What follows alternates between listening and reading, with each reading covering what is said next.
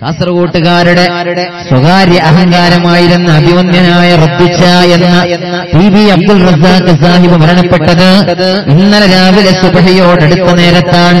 പ്രിയപ്പെട്ടവരെ ആർക്കും ഒരറിവുമില്ല ആർക്കും ഒരറിവുമില്ല.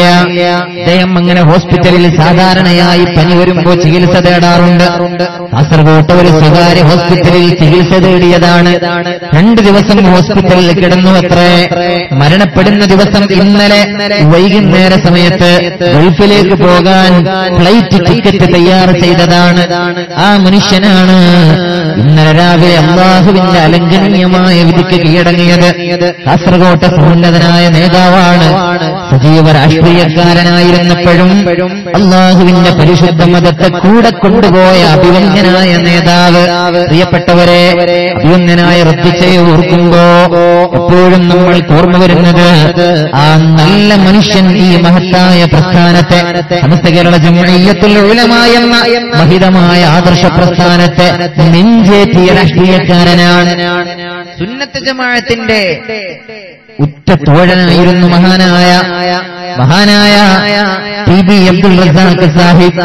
സമസ്ത കേരള ജംഇയ്യത്തുൽ ഉലമയുടെ അനുഭാവി മാത്രമല്ല അതിന്റെ സജീവ പ്രവർത്തകനും നേതാവാണെങ്കിലും പ്രവർത്തകരെ പോലെ ഓടിച്ചാടി എല്ലാ കാര്യങ്ങളും ശ്രദ്ധിച്ചിരുന്ന മഹാൻ.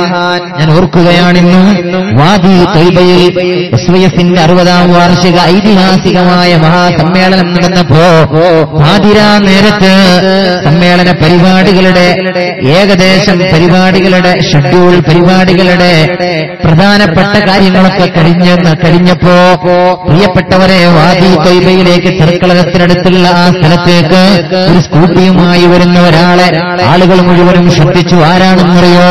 അത് അഭിവന്യനായ റദ്ദിച്ച എന്ന കാസർഗോട്ടുകാരുടെ സ്വകാര്യ അഹങ്കാരമായ പി ബി അബ്ദുൾ റസാഖ് സാഹിബാൻ ഒരു സ്കൂട്ടിയുമെടുത്താണ് അദ്ദേഹം സമ്മേളന നഗരിയിലേക്ക് വന്നത് സമ്മേളനത്തിന്റെ നേതാക്കന്മാരെ മുഴുവനും കാണുകയും എന്തെങ്കിലും ചെയ്യേണ്ടതായിട്ടുണ്ടോ എന്ന് അന്വേഷിക്കുകയും ഏറെ താൽപര്യത്തോടെ സമ്മേളന പരിപാടികളിലെ സജീവ സാന്നിധ്യം അറിയിക്കുകയും ചെയ്ത അഭിവന്ദ്യനായ റദ്ദിച്ചയെ ഞാൻ അനുസ്മർക്കുകയാണ് അള്ളാഹു ആ മഹാനുഭാവന് പുറത്തു കൊടുക്കട്ടെ. പ്രിയപ്പെട്ടവരെ രാഷ്ട്രീയക്കാരായാൽ അങ്ങനെ വേണം അങ്ങനെ വേണം രാഷ്ട്രീയക്കാരായാൽ. ഇന്ന് ചില ആളുകളെ നമ്മൾ കാണുന്നുണ്ട്. രാഷ്ട്രീയത്തിൽ ഏതെങ്കിലും ചില സ്ഥാനമാനങ്ങളിൽ ചെന്നപ്പെടുമ്പോഴേക്ക് അള്ളാഹുവിന്റെ പരിശുദ്ധ മതത്തിന്റെ നിയമങ്ങളും ആശയാദർശങ്ങളും അവർക്ക് ഒരൽപ്പം പുച്ഛത്തോടെയാണ് കാണാൻ അവർക്ക് താല്പര്യമുള്ളത് ദീനിന്റെ നിയമങ്ങളെ പിന്നെ പുച്ഛത്തോടെയാണ് അവർ സമീപിക്കുന്നത്. ദീനിന്റെ മനോഹരമായ നിയമങ്ങളും ആശയാദർശങ്ങളും കാറ്റിൽ പരത്താനുള്ള ശ്രമങ്ങളാണ് അവർ നടത്തുന്നത്. അത്തരം ആളുകൾക്ക് വലിയ സന്ദേശമാണ് മഹാനായ റദ്ദിച്ച് നൽകുന്നത് എന്ന് പറയാൻ ഈ അവസരം ഞാൻ ഉപയോഗപ്പെടുത്തുകയാണ്.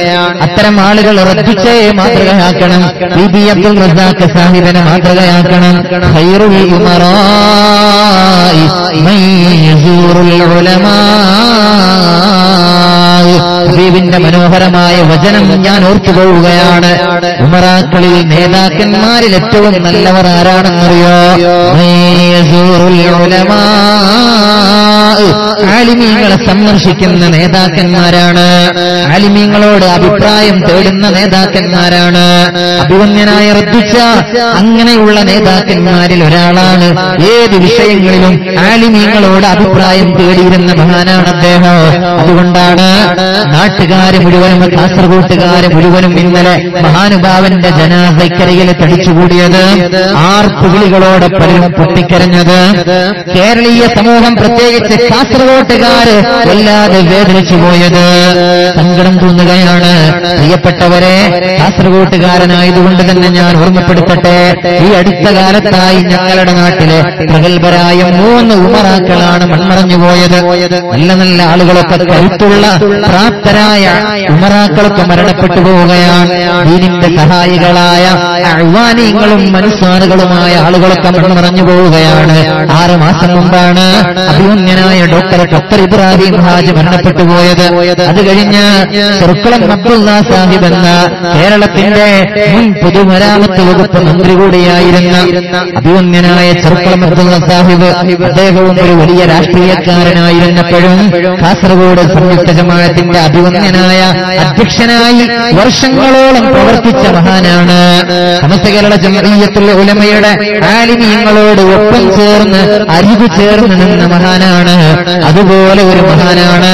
അഭിമന്യനായ പി ബി അബ്ദുൾ റസാഖ് സാഹിബ്. അങ്ങനെ മൂന്ന് മഹൽ വ്യക്തിത്വത്തിന്റെ മഹൽ വ്യക്തിത്വങ്ങളാണ് ഈ അടുത്ത കാലത്തായി മൺമറഞ്ഞു പോയത്. നീ അവർക്കൊക്കെ മഹുഫിറത്ത് മറഹിമത്ത് നൽകണേ റഹ്മാനെ.